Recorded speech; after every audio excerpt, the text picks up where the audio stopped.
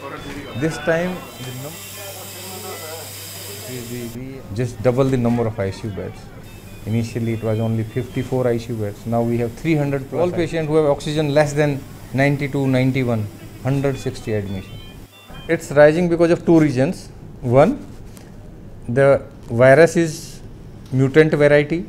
It spreads faster, and sometimes it is not even detected by RT-PCR.